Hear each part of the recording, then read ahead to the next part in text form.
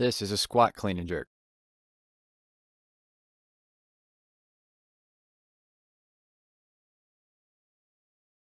Start with hips low. Come to full extension, shrugging the shoulders, and drop into the bottom of a front squat. Come to standing. And for the jerk, dip the knees forward slightly, and extend fully.